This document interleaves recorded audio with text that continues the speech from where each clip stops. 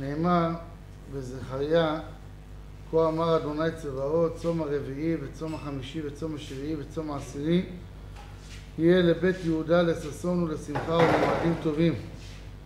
אז הנביא בא מבשר אותנו שהימים הקשים הללו, הרביעי, החמישי, השביעי והעשירי, יהיו בעזרת השם בגאולה השלמה לששון, לשמחה, יהפכו למועדים טובים.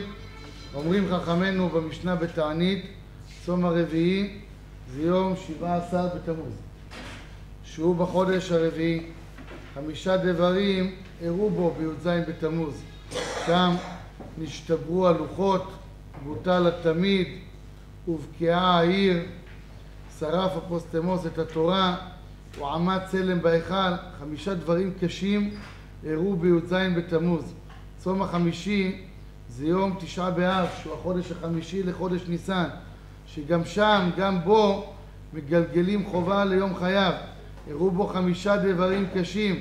נגזר על אבותינו שימותו במדבר ולא ייכנסו לארץ. חרב בית המקדש, בבית המקדש הראשון ובבית המקדש השני. נלכדה העיר הגדולה ביתר, והיו בה אלפים ורבבות מישראל. נפל ונהרגו כולם. וחרש טרונסרופוס את ההיכל וסביביו וקיים, התקיים מה שכתוב ציון שדה תחרש. צום השביעי נהרג גדליה בן אחיקם שזה גדולה הריגת הצדיקים כיום חורבן בית מקדשנו וצום העשירי זה הצום שאנחנו נמצאים בו יום עשרה בטבת בו שמח נבוכדנצר הרשע הבבלי המרושע על ירושלים והביא אותה במצור ובמצוק וכל הימים האלה כל ישראל מתענים בהם כדי מטרת התענית, מה שכתוב ברמב"ם, כדי לעורר הלבבות ולפתוח דרכי התשובה ויהיה זיכרון למעשינו הרעים ולמעשי אבותינו שהיו כמעשינו עתה עד שגרמו להם ולנו אותם הצרות. שבזיכרון הדברים האלו אומר הרמב"ם לשוב להיטיב מעשינו כמו שנאמר והתוודו את עוונם ואת עוון אבותם. אז אנחנו יודעים שאנחנו לא באים להאשים את אבותינו. אמן. לא באים להאשים את אבותינו. כי אם בית המקדש לא נבנה בימינו סימן שעדיין אנחנו אחוזים חס ושלום במעשים אלו. ואנחנו צריכים להתעורר בתשובה שלמה לפני השם יתברך. בספרים הקדושים כתוב שגם עוונות אבותינו תלויים בנו כי אבותינו כביכול חטאו מחמתנו.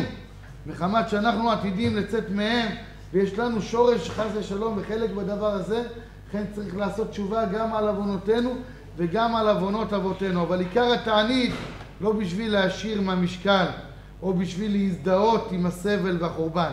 אנחנו לא מתענים על עבר. התעניות עם ישראל לא בוכה על עבר לא מתענה על עבר אלא בוכה ומתענה על הווה.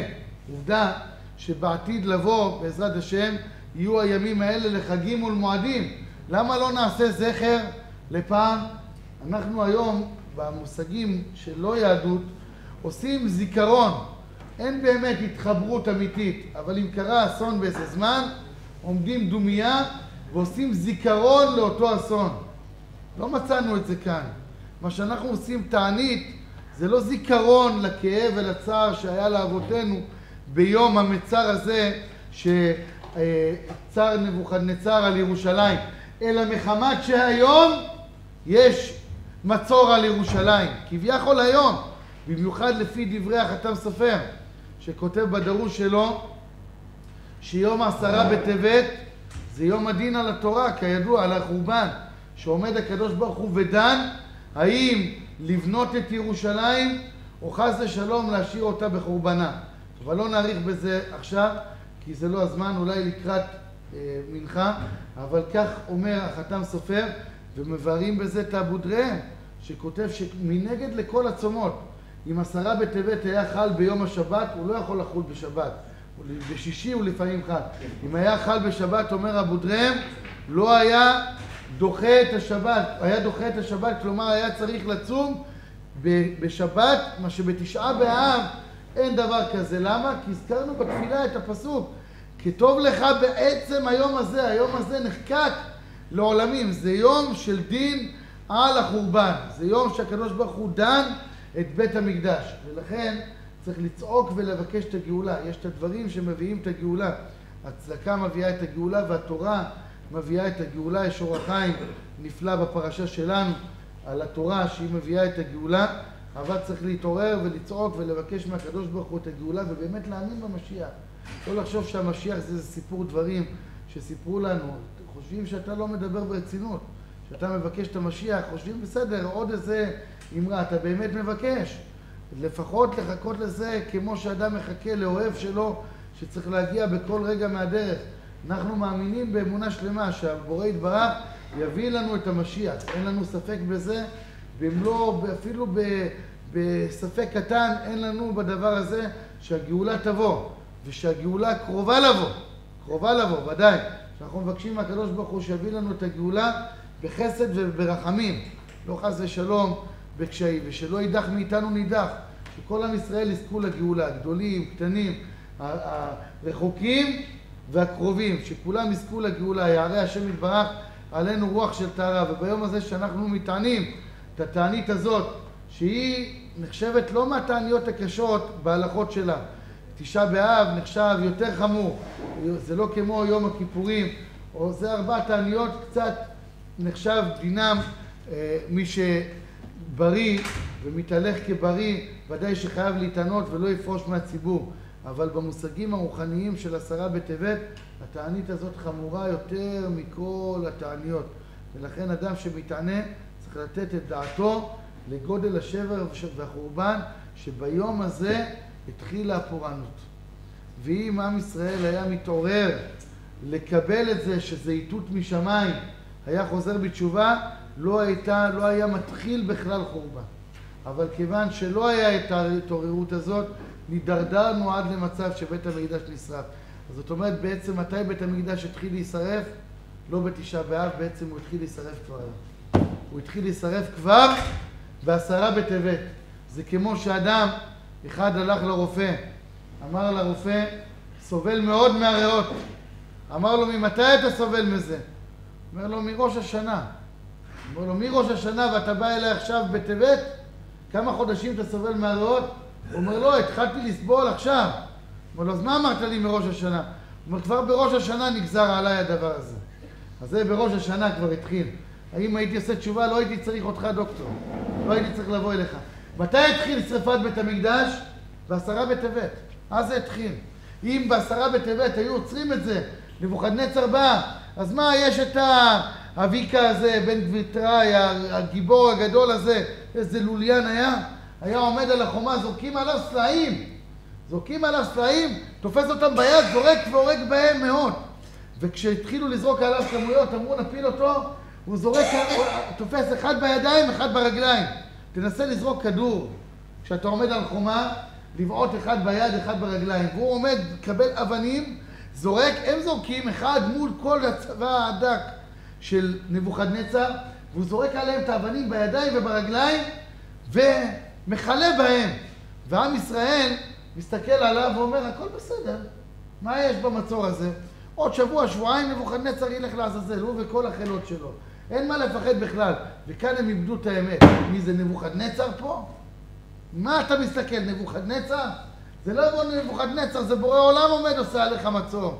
זה לא נבוכדנצר, אז מול בורא עולם אתה יכול להינצל על ידי אביקה, אתה יכול להינצל על ידי גיבור, על נבוכדנצר אתה יכול, הגיבור הזה.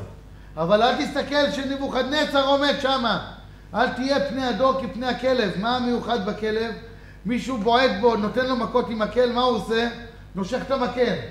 תסתכל, אבל מי בא במקל? מה אתה נושך את המקל? הוא ישר מכלה את זעמו על המקל, תופס את המקל. מישהו תופס במקל הזה. אל תסתכל על הנבוכדנצר, על המצור, זה מצוין. הגיבורים שלך התמודדו מולו מצוין. אבל יש פה בורא עולם, ולכן כשבורא עולם ראה שהוא, עם ישראל בטוחים בגבורתו, נתן להם סימן. מי הפיל אותו בסוף? איזה אבן הפילה אותו, רבי משה? אתה יודע מה הפיל אותו, את הבקעה הגיבור הזה? מי הפיל אותו? רוח. באה רוח הפילה אותו. נפל. איך נפל? כתבות בעיתון.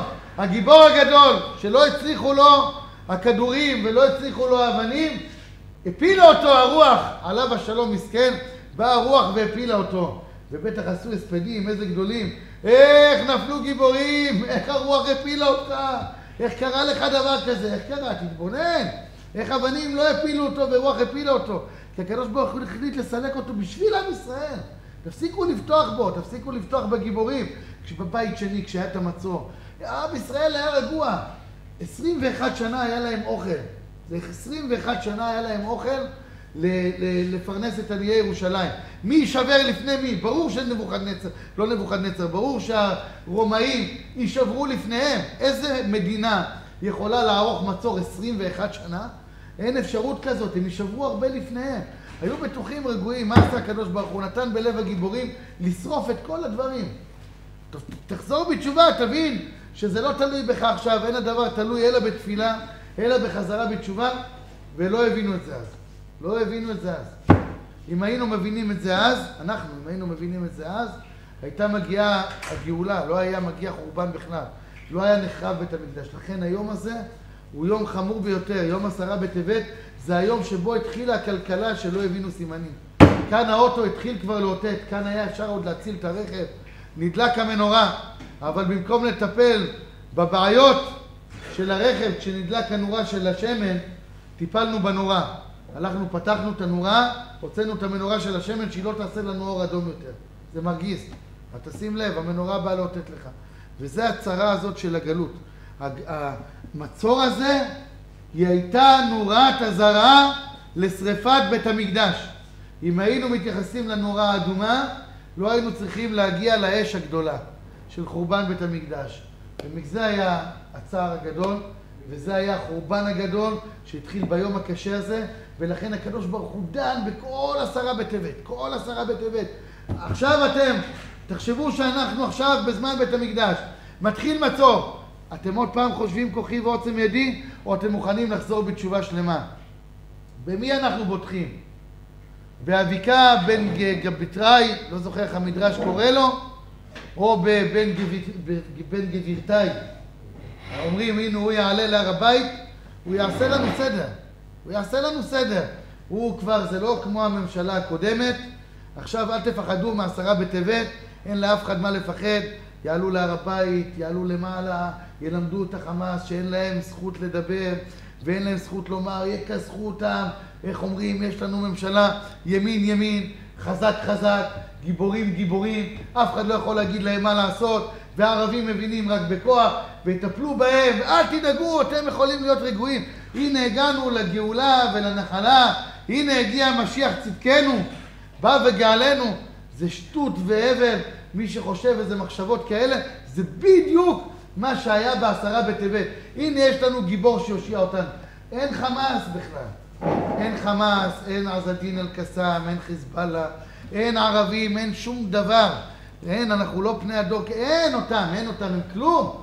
כולם שליחי דרך המנה, מישהו יכול לעשות לנו משהו אם לא הקדוש ברוך הוא שלח אותנו? מי העביד אותנו בפרח? מצרים? העביד אותנו בפרח, נתגלגל על ידי מצרים, מגלגלים חובה על ידי חייו. מה, אנחנו עבדים של פרעה, עבדים של הקדוש ברוך הוא אנחנו. הם יכלו לעשות לנו איזה דבר, הבבלים יכלו לעשות לנו איזה דבר. הנה ראית סנחריב עם כל החילות שלו, עם כל הגבורה שלו, מאות מיליונים של חיילים עומדים מול ירושלים וצוחקים. זה, זה, עזוב, בוא נשען. כי פחדו בהתחלה, היה רעש גדול מאוד. בואו נלך לישון, מחר בבוקר נקום, כל אחד ייתן יריקה מהחומה, כולם יטבעו שם בפנים.